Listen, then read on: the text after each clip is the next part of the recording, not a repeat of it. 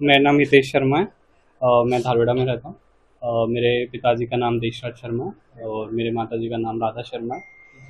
मेरी एक बड़ी बहन है, जिनका नाम मोनिका शर्मा है।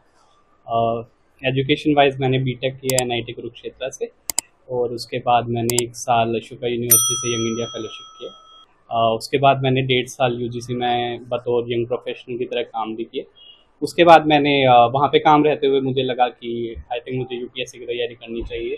तो फिर मैंने वहाँ से रिज़ाइन करके लगभग मैं लास्ट के तीन सालों से यूपीएससी की तैयारी कर रहा हूँ।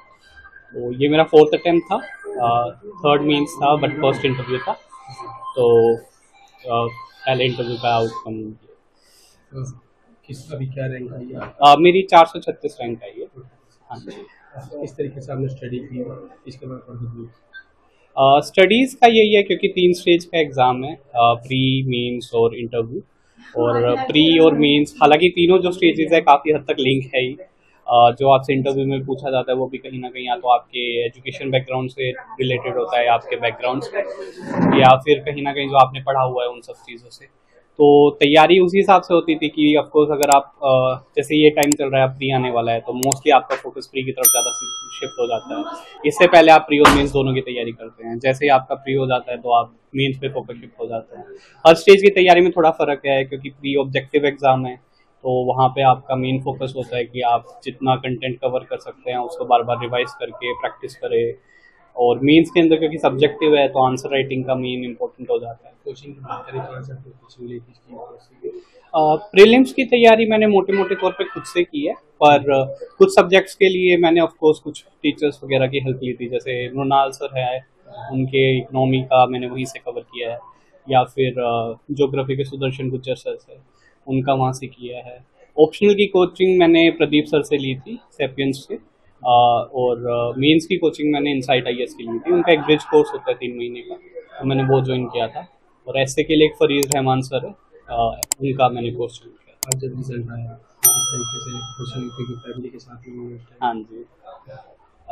खुशी तो थी काफ़ी क्योंकि एग्ज़ाम का प्रोसेस इतना लंबा हो जाता है और अगर आप देखें भी कि तीन साल आप एग्ज़ाम देते हैं हर बार आपको सक्सेस नहीं मिलती है तो एक बार आपको लगता भी है कि कहीं ना कहीं आपको लगता है कि ठीक है अब दोबारा से शुरू करना है। तो उस हिसाब से सबको से खुशी तो होती है बट सच में बताऊँ तो अभी बहुत ज़्यादा टाइम मिल भी नहीं पाया सोचने का। आई थिंक पेरेंट्स को बहुत ज़्यादा खुशी है। अ, अड़ोसी पड़ोसी के जो लोग हैं दोस्त है रिश्तेदार है उनकी खुशी है। और उनकी खुशी देख के लगता है कि हाँ वो खुशी शायद ज़्यादा मैटर करती है। तो इसलिए। मोनिका शर्मा नाम है मेरा। ब्रदर में यूपीएससी हाँ। जी। कैसा लग? रहा है बहुत अच्छा लग रहा है। हम दो दिन से मतलब काफ़ी मतलब एक्साइटेड थे कि रिज़ल्ट देखने के लिए कि क्या होगा क्या नहीं। बट एक श्योर तो थे कि हाँ होगा। बट एक यूपीएससी आपको पता है कितना टफ एग्ज़ाम है। तो बस ये था कि थोड़ा कि पता नहीं होगा या नहीं होगा।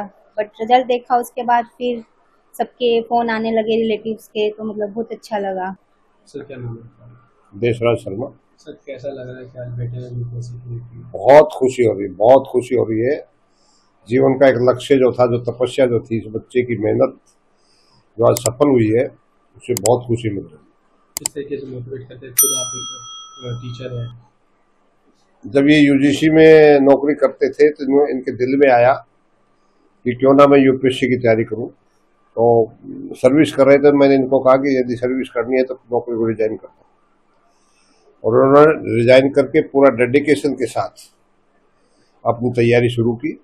और उस तैयारी को लेकर के मेरा काम तो सिर्फ़ इतना था कि शाम को रोज़ाना पूछ लेना भाई, क्या रिक्वायरमेंट आपकी?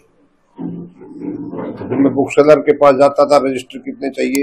पंद्रह दे दे भाई। बैंक पेन कच्चा चाहिए, दो पैकेट दे दीजिए। सर, ये करते क्या हो आप? तो मेरा काम इतना था, बाकी तो बच्चे की मेहनत काम की है।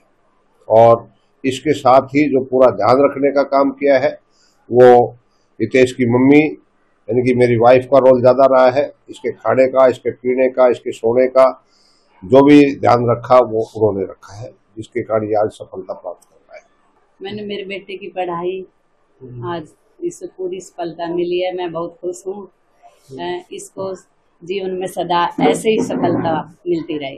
किसी और के बच्चे के बारे में जब सुनते हाँ हैं हाँ जी हाँ तो बहुत खुशी होती है अपने घर में ये खुशी और सबसे ज़्यादा दूसरे बच्चों के लिए भी हम यही कामना करते हैं कि बस पढ़ते हैं तो सबको अच्छे बचेगा